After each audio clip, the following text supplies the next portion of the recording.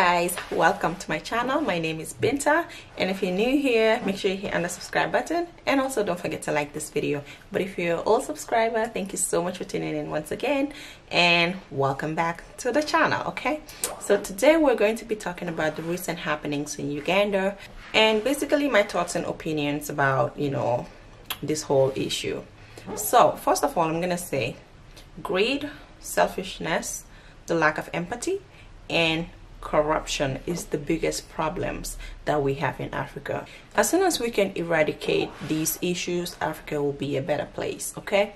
Anyways, I'm just gonna say that I stand in solidarity with the people of Uganda and I stand in solidarity with the people that wants change for Uganda and I stand in solidarity with Bobi Wine, okay? So he's so young, he's so cute and listen, we need him on that seat um the sad part about this whole thing is that we have like the officials you know the the the military and the police who are instead of fighting or collaborating with the people that needs and want change they are trying to protect the president who is Museveni and I think this is very wrong.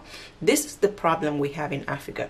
Whenever a situation arises, you know, the the president or the leaders always find a way you know um, to have the military to have like a lot of corrupt people on their side. And these corrupt people are always the ones who are in power or they have maybe you know some type of power against other people that don't have anything. And I saw a couple of videos on um, Facebook and YouTube and one of the most disgusting ones i'm not gonna share that on on on here because i was so embarrassed to look at that video was this lady that would uh, the police officers were dragging on the streets you know they were doing all sorts of things to her when her child a young boy was there crying for help for her mother. And these are men dragging this woman. And not just that this woman was like half naked at some point, you know, and they were just trying to arrest her because of uh, the issue Bobi Wine. So I didn't listen to the whole thing because I couldn't even watch it. It was just so disgusting and embarrassing to see men, African men, treating a woman like that and a child. So when we talk about human rights, forget the countries with dictators because they don't give like they don't care about people they don't care about human rights. All they care about is the seat that presidential seat. And all they care about is how to win every election. All they care about is how to keep the corruption going you know. Basically it's just people being selfish. And i feel like sometimes the people do contribute into making these african leaders the monsters that they have become. Yes because most of these people they behave like monsters. They don't have any human uh, empathy for anyone. So that is the sad truth about the things that happen in africa. So i'm gonna play a couple of videos and you guys are gonna be shocked. These are the things that happens during election in africa or should i say in most african countries not all of them but most of them. Like these are the kind of cheatings and uh, unfair votes that happen okay?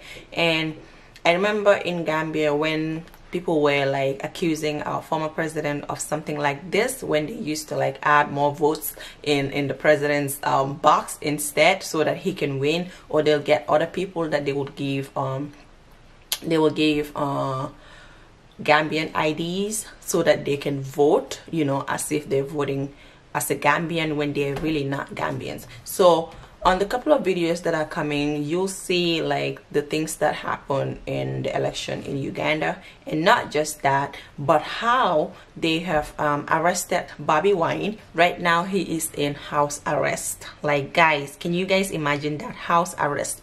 Like I don't understand. All I can say is that Ugandans this is the time to get up and fight for yourself. This is the time to get up and fight for Bobi Wine. This is the time to show that you guys are patriotic citizens. You need it. This guy have fought for you guys. Bobi Wine have fought for you guys. But guess what? You guys need this change more than he does. Okay? There's a serious case going on in Uganda and nobody wants to talk about it. This is why I said African Union is a is a is a joke. Listen, I don't believe in that whatever it is. I don't believe in it because they are all bunch of fools and they are all jokes. They're just there for their own selfish reasons and they are being controlled by the enemy. They don't do anything without the, the without the enemy telling them what to do or what not to do.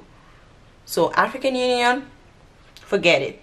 Trust me, if this was another um, issue where the enemy is um, very interested in, or if this was um, a country that we have suddenly just found gold or diamonds in some area, guess what?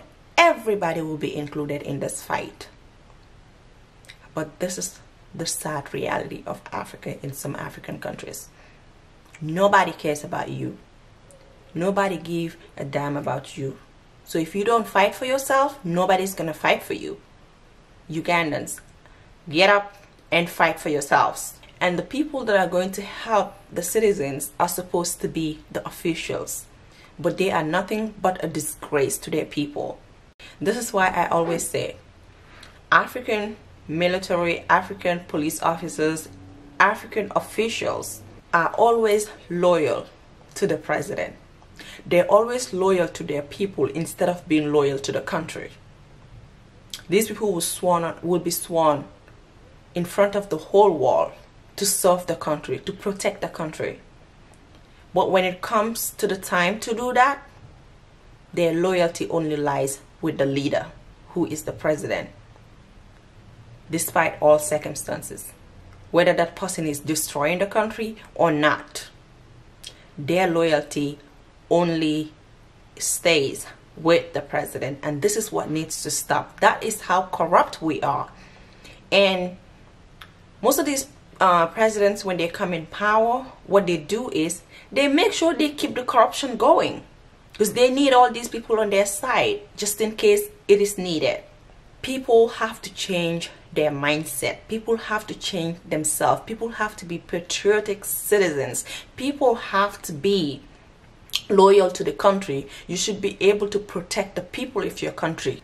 If the president is not doing anything that is going to help you people progress as a country then i don't see why you have to protect them to the extent of destroying your own country. I don't understand this whole thing and I just wanted to share my thoughts and opinions on you know how Africans find themselves in so much trouble or these type of issues all the time because if you guys notice something similar to this did happen in my country the Gambia when the president did not want to leave office and it was it was crazy. It was crazy because Gambians don't know what war is. They don't know how to fight you know. So everybody was fleeing up and down going to senegal and everywhere. So it's not even funny. And honestly i feel for you guys. I feel for Bobi Wine. The guy is locked inside his house. He can't go nowhere and nobody can see him as well for just no reason. This is real dictatorship i have never seen something like this before so ugandans I am pleading with you guys to get on the streets and fight for yourself. Fight so that Bobi Wine can be free. Fight so that you guys can have a change. Fight so that you guys can have a better country. It has been 30 some years of failure from one person. So, if you guys don't fight for yourself, before you know what happened, trust me, this guy could even kill Bobi Wine wherever he is. Because if he has the power and the support of the officials to arrest that guy in his own house, then he is capable of doing anything. He is capable of doing anything. And Africans, we need to open our eyes. We need to wake up and we need to fight for ourselves so yeah guys i'm gonna let you guys watch some of those corrupt videos and of course that will be it for the video. Thank you guys for watching and i will definitely see you in my next video. Bye guys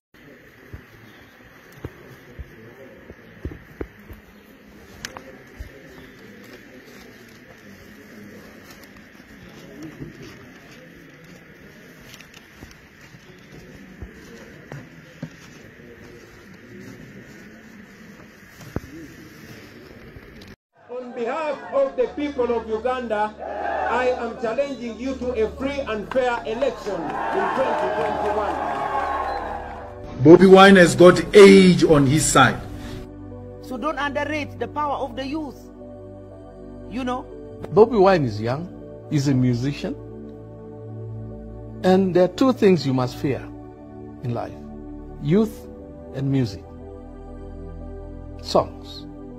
And when you listen to the lyrics of his music, his songs and stuff like that, our leaders become misleaders and see our mentors become tormentors. he is a man who basically turns his music into a, not a music of social control, but in fact a music of social change.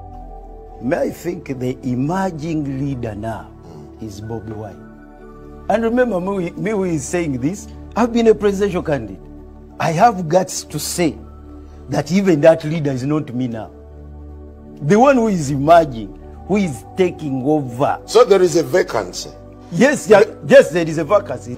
People who don't like Bobi Wine have never met Matt, um, uh, what's the name? Reverend Jesse Jackson. Do you know what it takes to meet Jesse Jackson? And the sort of people Bobi Wine has been meeting. You got to applaud him for that. You may not like him, but the fact that he's gotten to this stage, you've got to applaud it. Every young boy should be taught that it is possible to come out of the abyss and get to the place where the world takes notice. That's applaudable. It should be taught in every school in this country, if not in every world, in every school of the world. Kyagulanyi Bobi Wine, amaanyi ge mangi. Mangi. Gavumenti egawulira, ebibiina bigawulira, buli muntu agawulira. Omukwatako ensi n'ekankana, abeamerika ne beekalakaasa abebungereza ne beekalakaasa abe south africa ne beekalakaasa n'abawano musi ne beekalakaasa. Ago amaanyi wali ogajjeewa nti mbulyayo politician wa wano gwe baali bakutte ensi yonna negugumuka. Egindi bavumye ecanada bavumye egindi bavumye egindi bobi wine alina ekigambo kimu which is dangerous. Sloganizing is very dangerous.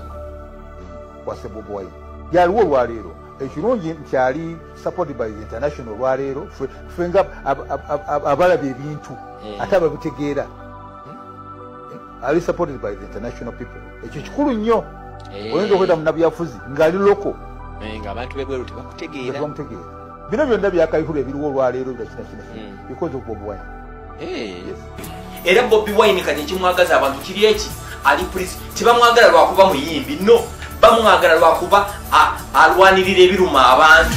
Nga mpalampa. Mwali mumpulideko nga muwalampa oyo. Ffe tumanyi okubala. Ono omwana ono bobi wine ono nze sikyamuzanyirako. Omwana ono alaze karegi mutamunkwate bulungi bwemuba mwagala bukulembeze nga mwagala okukyusa pawa tusuubira sentamu kyagulanyi okwesimbawo ku luuyi waffe olwopposition. So bobi wine okugira kale independent nga nange ndi wa independent tewali nsonga lwaki simuwagira oba oyagala wati oyagala bobi wine zitwongaganye ne bode nasi atusinga ffenna.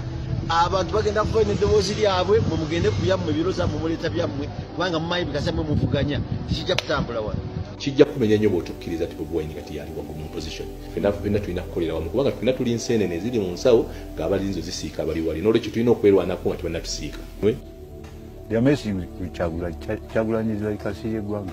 He sizes you up and takes What? his time. he takes his time Sure.